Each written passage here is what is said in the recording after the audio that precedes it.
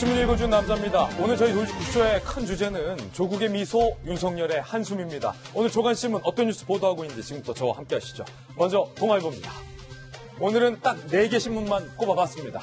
어제 검경 수사권 조정안이 통과되면서 경찰은 66년 만에 수사 자체 종결권을 갖게 됩니다. 이제 경찰 스스로 혐의가 없다라고 생각하면 수사를 종결할 수 있다는 겁니다.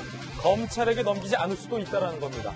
동아일보는 한편으론 경찰 권력이 너무 비대화질 것에 대한 우려도 적고 있습니다. 수사 초기엔 검찰이 전혀 관여할 수 없다는 것.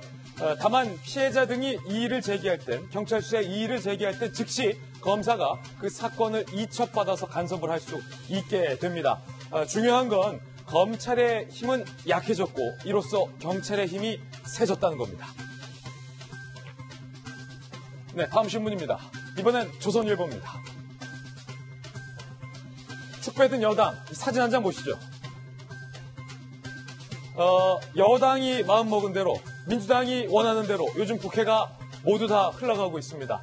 어제 검경 수사권 조정안 그리고 어, 총리의 인준 패스트트랙에 올라갔던 그 모든 것들 한국당을 배제한 채 선거법 등등이 민주당이 마음먹은 대로 통과되고 있습니다. 어제 박용진 3법도 통과돼서 민주당 의원들이 셀카를 찍고 있는 모습 오늘 조선일보에 보도되고 있는데 어제 여당 내에서 본회의 열리기 전부터 미리 일방 처리가 통과될 것을 예측하고 만찬, 만찬이 열렸다고 합니다. 그 자리에서 축배를 들면서 한 여당 의원이 이렇게 얘기했다는 거예요.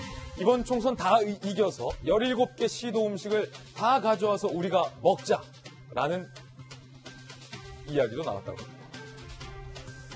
20대 국회가 최악의 국회라는 오명 속에 빠져 있습니다. 여야의 혁신은 온데간데 없이 사라지고 일방 통행만 있다는 지적이 많습니다. 잠시 후 국회 상황도 점검해 보겠습니다. 다음 신문입니다. 이번엔 중앙일보입니다. 이국종 교수가 잠수 탔다. 주변에서 이런 얘기가 나오고 있습니다. 이국종 교수가 이렇게 얘기하고 있어요. 아주대 병원에서 병실을 안 내줘서 작년에 868시간 셧다운했다. 외상센터에 환자 못 받고 셔터 내렸다는 겁니다. 아주대 병원이 병상, 침대를 안 내줬다. 이국종 교수는 이렇게 공개적으로 불만을 터뜨렸습니다. 외상센터 환자 못 받고 딴 곳 보내야 했다. 이국종 교수의 한숨인데요. 다만 아주대 병원은 반박하고 있습니다. 병상 쪽에서 충분히 지원했다. 병원 살림도 생각해야 되는데 이국종 교수가 자기 생각만 하고 있다. 라고 이 교수에 대해서 불편한 심기가, 심리가 병원에 있는 것 같습니다. 다만 문제는 이국종 교수가 공식적인 해군 훈련에 동행을 해서 현재 함선을 타고 있는 상황인데 주변에선 이 교수가 이런 상황에 절망을 해서 잠수를 탔다라고 얘기를 하고 있는 겁니다. 누가 이국종 교수를 절망케 하는가? 누구의 말이 맞는가? 아주대 병원을 둘러싼 논란은 지금 불이 붙은 것 같습니다. 다음 신문입니다. 이번엔 한국일보입니다.